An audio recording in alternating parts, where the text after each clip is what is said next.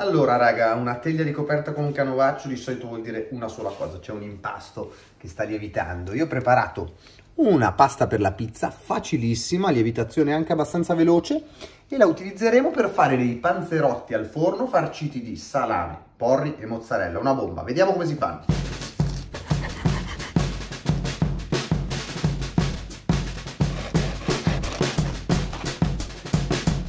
Quindi gli ingredienti Pasta per la pizza che adesso vi spiego. Il salamino negronetto, protagonista del nostro ripieno, due porri, della mozzarella fior di latte, un po' di peperoncino per dare del piccantino al porro, ovviamente del sale, un pochettino di grana padano per andare ad arricchire ulteriormente di sapore i nostri porri. Quindi partiamo subito. Allora, io ho già iniziato a tagliare i porri, li ho tagliati a metà per il lungo in modo da avere una parte piatta e lavorare bello comodo.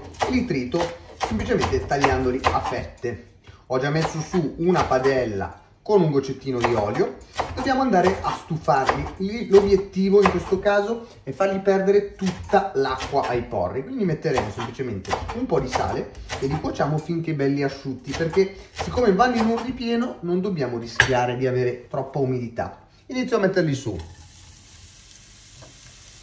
Perfetto. Iniziamo a fiamma media con un cucchiaio di legno andiamo a mescolare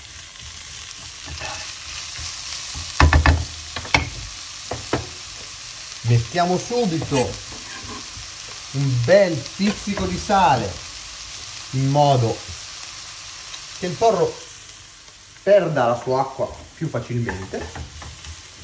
E li cuociamo per circa 10 minuti e nel frattempo ci dedichiamo al resto del ripieno che è facilissimo. Dimenticavo il peperoncino. Potevo metterlo nell'olio per insaporire ma io qua lo vado tranquillamente a sbriciolare all'interno dei porri, questo semplicemente per dargli una parte piccante che scelgo di mettere io, se non vi piace ragazzi non lo mettete assolutamente. Allora il salamino negronetto vogliamo tagliarlo a fette abbastanza spesse perché poi andremo a fare dei cubi. Anche qua potete tranquillamente scegliere la, il taglio che preferite, io vi consiglio di fare delle fette spesse e poi dei cubi per avere un po' di consistenza e masticare bene.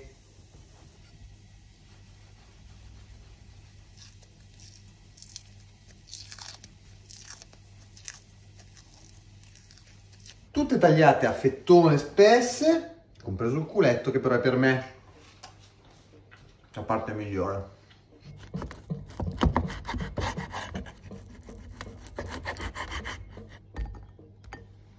Salame tutto cubettato, ce lo mettiamo da parte, oltretutto è anche perfetto per la degustazione mentre si lavora, in formato a cubi, mozzarella da taglio, anche questa a cubi abbastanza grandi, e qua l'unica operazione da fare, raga, è di andare ad asciugarla un pochettino.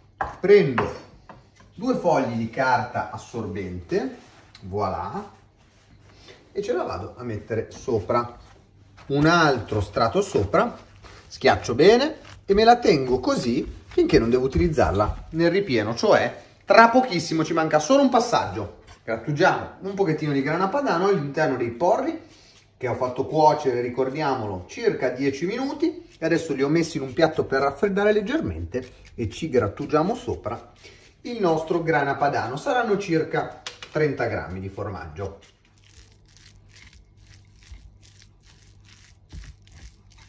Oh, adesso arriva la parte divertente della ricetta in cui finalmente si va a lavorare il nostro impasto che ho preparato prima. Allora intanto mi cospargo bene il piano di farina e prendo il mio panetto. Intanto vi spiego come l'ho preparato. Allora la ricetta è 250 g di farina 00, 150 g di acqua tiepida in cui scioglieremo 12 grammi e mezzo di lievito, mezzo panetto e un cucchiaino di zucchero. Poi abbiamo 15 g d'olio e cosa dimentico? 5 grammi di sale.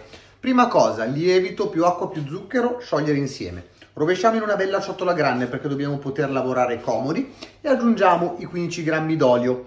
Poi mettiamo 2-3 cucchiaiate di farina e lavoriamo fino ad avere una specie di pastella. E lì mettiamo il sale, importante questo perché il sale non deve entrare a contatto assolutamente con il lievito. A quel punto possiamo mettere la restante farina, continuare a impastare fino ad avere un panetto compatto. Lo lasciamo nella ciotola coperto con pellicola lievitare in forno con la luce accesa due ore. Dopo facciamo i panetti, questi qua, circa 70 grammi a panetto e poi li andiamo a stendere come stiamo facendo adesso.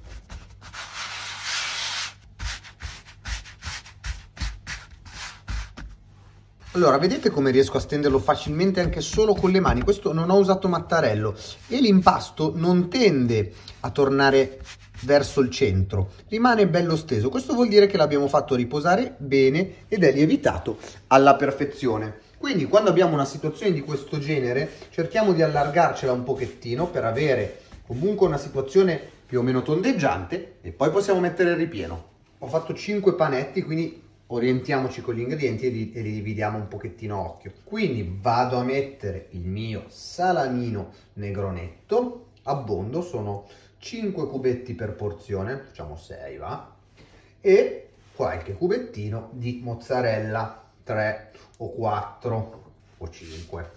Poi vado semplicemente a ripiegarlo su se stesso e poi schiaccio bene.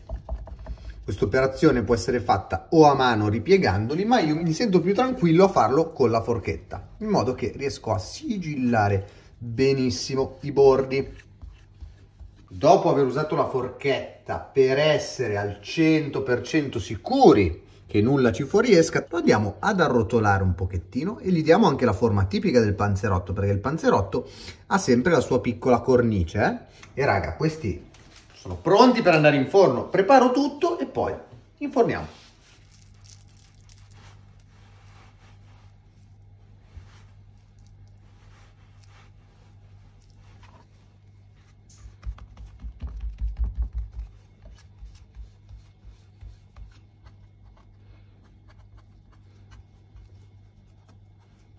Ah, dunque, i miei panzerottini sono pronti. Ne ho messi solamente 4 in teglia perché il quinto non mi ci stava, un pochettino cresceranno, quindi li ho voluti distanziare bene. Metto un cucchiaino, mezzo cucchiaino scarso d'olio su ognuno e li vado un pochettino a massaggiare, non ho il pennello, se avete, se avete il pennello fate un lavoro migliore.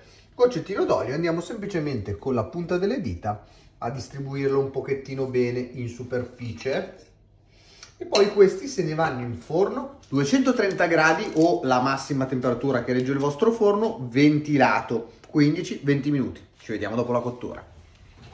Pronti? Allora dopo un quarto d'orina eccoli qua. Ma che belli. Mica male eh? Adesso li tagliamo e vediamo come sono dentro. Allora bello croccante l'esterno e bello fuso l'interno. Adesso sarà tipo a non lo so 96.000 gradi quindi aspetterei un paio di minuti e poi lo assaggiamo. Guarda qua che ripieno! Tutto stratificato perfetto! Oltretutto hanno un profumo meraviglioso il salame tagliato così a cubi grossi va bene perché non si cuoce troppo e non cambia sapore. Assaggiamo? Mmm molto buono. La sapidità del salame incontra perfettamente il porro che è un pochettino dolce e quindi va a smorzare. Il tutto unito dalla mozzarella morbida. Un bel panzerotto, un bel panzerotto e un ottimo ripieno. Ragazzi, vi ho spiegato come farlo. È facilissimo da fare. Preparate l'impasto in anticipo il pomeriggio così arrivate perfetti per l'orario dell'aperitivo. Ci accompagnate una bella birra ghiacciata e ragazzi aperitivo servito con salamino negronetto pazzesco. Rifatelo a casa. Ciao raga!